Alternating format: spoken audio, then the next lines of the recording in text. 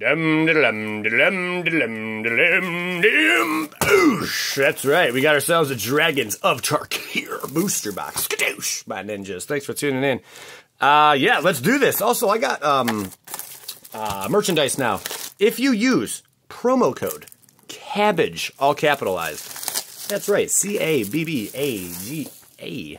No, C A B A G E uh, at checkout uh, or apply that promo code, you will save an extra five bucks. Literally, there is uh, less than I think 50 cents on t-shirts that I make. I'm really making nothing after that promo code, but I'm just trying to get it into your hands, and I think today or tomorrow is the last day before you can guarantee your uh, arrival for uh, Christmas. So there you go. Now you know. Hooray. Let's do this, man. This is from 2015. 2015. We're going to tally up all the value here. Um, and you can find the, there should be, they should be displaying now underneath every video. Um, the merch, you know, there's not too many options right now, you know, just a few like with the hoodies and uh, the shirts, but I thought I would mention that. Uh, but anyway, yeah, uh, there you go. Sarkhan's Triumph, starting things out. Circle of Elders, Scholar Andromachus Command. Hot darn, we are starting things off good. Total, uh, I put into this is what was it? 92 bucks I paid for the box. I want to say $92. So we have to get that back. And these are already up to around 100 if I'm not mistaken. I forgot to take a look to see what common cards uh, are worth or darn in here. But uncommon, I know Sarkhan's Triumph already pulled one of those. That's worth something. Uh, Shaman, not sure about the value on that one, but we'll take it. So yeah, this had the Megamorph costs, if you see right here. Uh, for one red mana, you may cast this card face down as a 2-2 creature for three. Turn it face up anytime for its Megamorph cost and put a plus one plus one counter on it. So there you have it. I'm not going to go over every single card, obviously. We got a bulk uh, foil there. We'll take it, though. Um, but yeah, I wanted to stop and at least uh, show you guys the mechanics on these cards. Because if I went over every single uh, rare here, we would be in this video for about 40 minutes. And, you know, simply, I, don't I got to save you guys some time. So there you go. Hardened Scales, I think, is a card to pull out of this set, if I'm not mistaken. I would like to see what is the uncommon that's worth something, or what uncommons are worth something. This is like probably 45 cents or something like that. Draconic Roar, another pretty cool card. We'll take it. Uh, of course, the Deceiver. The Deceiver. That is something. Legit. An Obscuring Aether. What is this? Face down creature spells you cast cost one less to cast. Produce turn Obscuring Aether face down. Okay. I don't think that really saw much play. Maybe it did during its standard, but other than that, uh, I do want to see about commons really quick. So give me one second. Let's see. Uh, yeah, Impact Tremors. We are looking for Impact Tremors. Impact Tremors we pull, I think, are like a buck something. That's not bad for a common, you know. A buck a card, but everything else is mostly bulk in this set. We have Mr. Swift, Warkite, Sorcerer, Wind, Wind. I love the art on this one, really cool. The Icefall Regent. Not bad for a dragon, though. Um, when Icefall Regent enters the battlefield, tap target creature an opponent controls. That creature doesn't untap during its controller's on tap step for as long as you control Icefall Regent. And then spells your opponent's cast at target Icefall Regent. Costs two more to cast. Not too shabby. Pretty cool. We did get a dragon. This set is filled with dragons, in case you haven't known. That's the card on the art right there, by the way. Bloosh! We'll take it. And this is uh this is the big daddy from Cincinnati, if we can pull him. Uh, was it uh, Tramaca? I can't remember his name. Uh, the Chasm Center Stormus Singer. We got all right. Strike, the Butcher. Oh my God, this is like one of the best cards. I think this was the very last time they ever printed this card, ever. They just never printed again. It was really, yeah, great card. All right, moving along here. So we got the Crafter, and then another dragon. So you see the set's just filled with dragons. Uh, this was probably a little more underwhelming for six. Whenever you sacrifice a creature, target opponent sacrifices a creature. They can get kind of out of hand in the right build. Here's another dragon, as you see. There's just dragons everywhere, flying, trampling the Megamorph, and then when it's turn faced up, put a plus one plus one counter on each other dragon creature you control. It's Pretty crazy. And we have Volcanic Vision. That's a big boy. Return target instant sorcery card from your graveyard to your hand. Volcanic Vision deals damage equal to that card's converted mana cost to each creature your opponents control. Exile Volcanic Vision. Now these cards, these prices are uh, slowly all ticking up a little bit. I mean, you know, some of course more than others, but they're going up because of Pioneer format. Oh, we got ourselves an Impact Tremor. Hurry, hurry, hurry! Where's my bell, man? Whoa. A little delay there, Mr. Moss. So this is the one that's worth over a buck. Whenever a creature enters the battlefield under your control, it impact tremors deals one damage each opponent. Not too bad.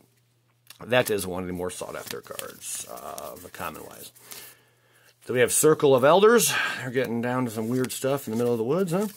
Atraka's Command. Solid little pool there. Very uh, solid. Um, yeah, your opponents can't gain life this turn. Atraka's Command deals three damage each opponent. And then also, you may put a land card from your hand on the battlefield. Creatures you control get plus one, plus one, and gain reach until end of turn. You gotta choose two of those. Not bad. Does see play. It does see play. I think it sees play in Modern as well, if I'm not mistaken. But more so, I believe, Pioneer. I believe, yep, sure. Right, got the Negate. What was the other, uh, what was the other mechanic in this set? I'm trying to think of it. What was it? Explosive Vegetation. There's a solid little uncommon. We'll take it. Not bad at all. Um, Belltoll Dragon. Actually, I'll put that up here. Just so we have an idea. There's the dragon. Uh, we got the flying and the old hexproof, which is pretty sweet sauce. I'm trying to get the uncommons pulled up here. Okay. So I have an idea what's what. Explosive vegetation is something. There you go. Okay. Actually, explosive vegetation is the most pricey uncommon you can pull out of this set. now we know. Blessed Reincarnation with Rebound. That's the other mechanic. If you cast a spell from your hand, exile it as it resolves. At the beginning of your next upkeep, you may cast this card from exile without paying its mana cost. Haru. Now notice we're not pulling a foil after another foil after another foil. It just didn't get down like that in this set. Um, we'll be lucky to get four or five foils in the entire box. And, ooh, another Impact Tremors. And that's just the way the cookie is going to crumble on that. Uh, Rakshasa Gravecaller. This is when um, uh, foils were actually worth a darn. I know, it's nuts. It's, it's when they were worth... Oh, my God! Bam! Right in the tail! Cabin Collar! Not cabin. That is good, man. Yes! Break the bill in the face. Oh, man, things just fell. Uh, look at it. This is one of the best cards you can pull out of the entire set. Look at the top six cards of your library. Put up to two creature cards with converted mana cost, three or less from among them on the battlefield. Put the rest in the bottom of your library in any order. Nasty, nasty card right there. Bada, bada, bink. We'll take it, man.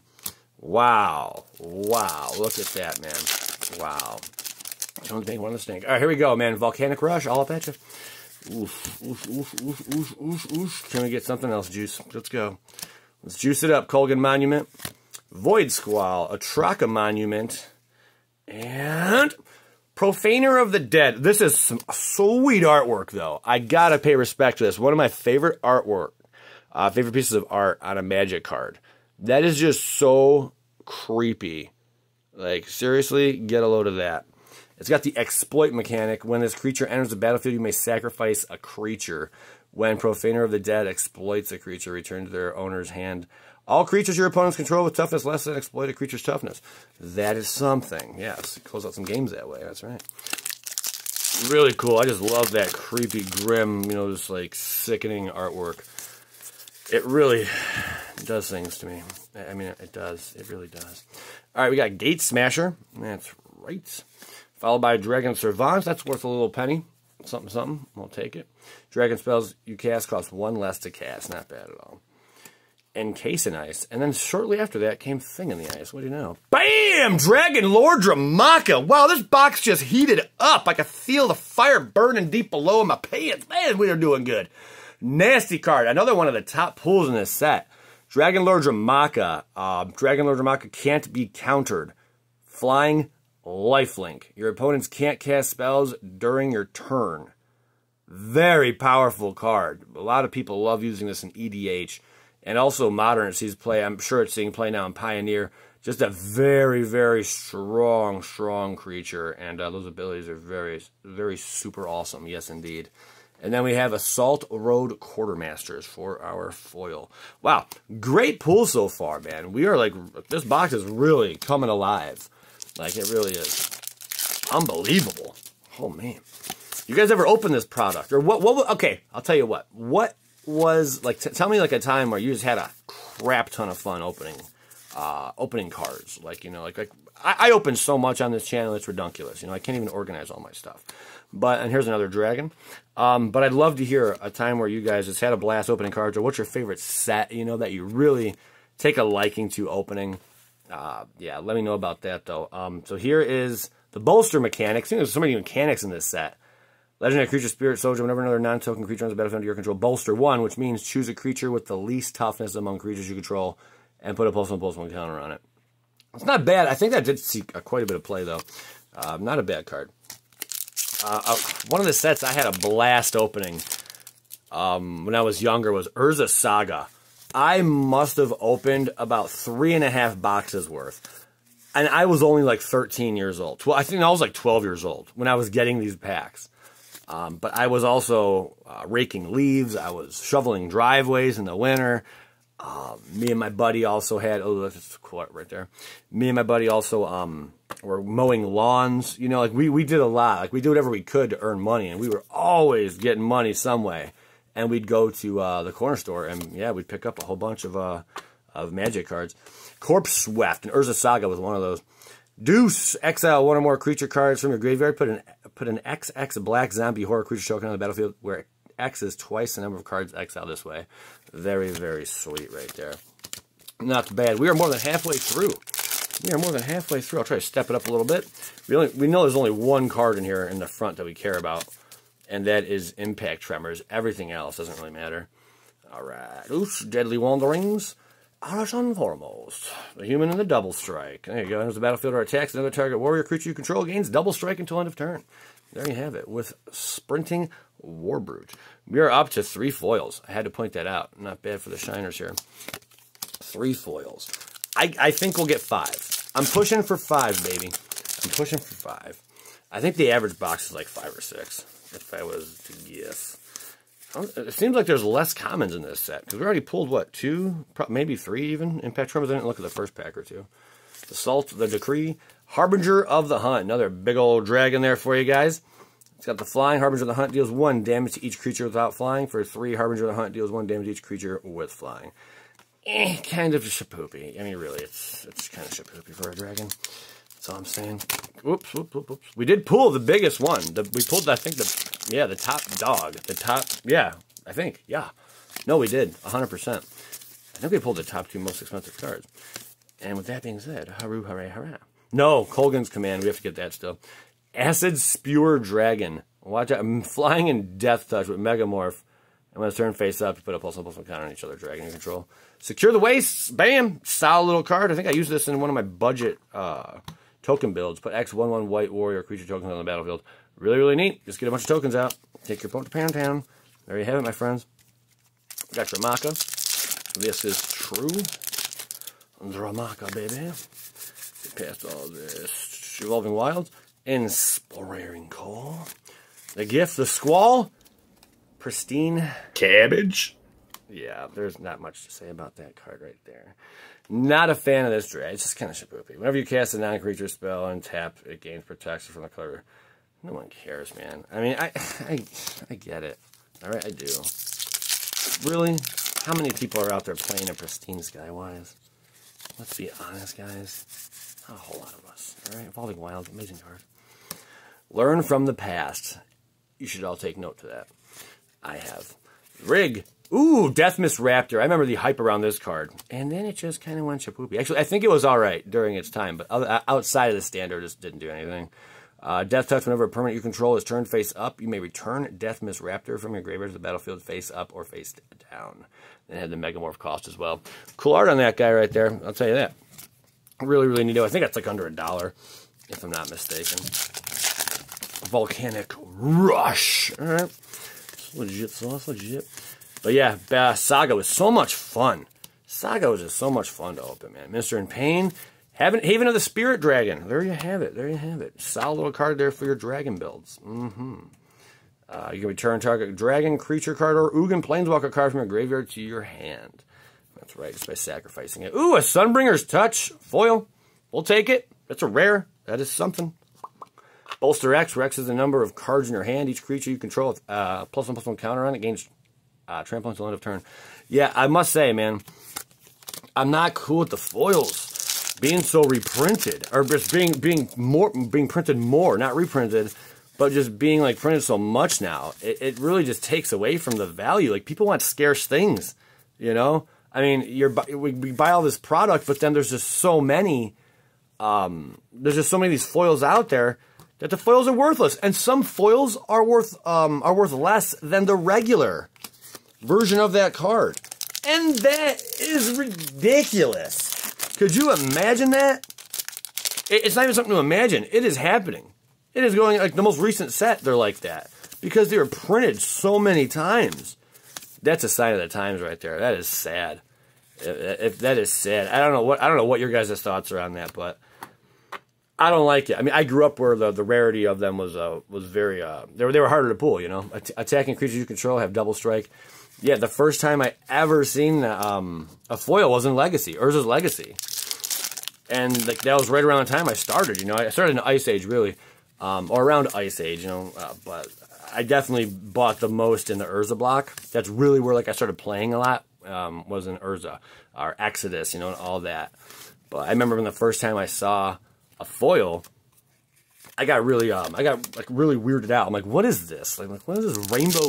What, what is what is this? Like I was just so like like we didn't we were like playing for about over like a year and a half at this point, two years, and and then we saw like this this foil thing. What?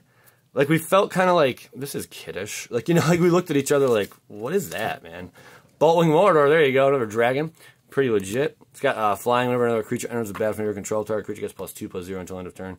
Not bad at all and Palace Familiar. Familiar dies, draw a card. Not bad. I always like the art on that. I, I, did. It's plain Jane, but it's really cool art. And the foil's even better. I'm going to put that in my cool pile, maybe. Now it's on the foil pile. So we got uh, five foils. Five. If we don't get another foil, so we hit what I expected. That's weird. Okay. I don't think that'll happen. We'll another foil. Another Wilds. Seismic Rupture. That's right. Another dragon, just to show you. Flying Lifelink. So many dragons are in this set. Ultimate Price, great card, great card. I think that's in my turn one budget win deck. Look at that one up. Destroy target mono-colored creature, really cool. And Assault Formation, not bad at all. We will take that. Right. I would like to pull, if we can get a Kolaghan's Command, I mean, we're cooking Heaven's Bakery in. Like, we, we're doing really good. We are doing really good if we could pull that. Let's see. Let's see. Let's get that right. You know? Let's pull it right now, right? Why not? Scale Lords, Jotai, up. Oh, illusionary gains. I was way off. Basically, you get to control another creature. That is legit. We'll take it. Cabbage. I'll take it. But the foil thing, I don't know, man. Didn't like it when I first saw them. And this is from someone who played before there were foils. So you got to consider that, you know. But then now, now with them just printing them, like they lost their their appeal. Like we then when we found out, of course, you know, oh, these are worth more.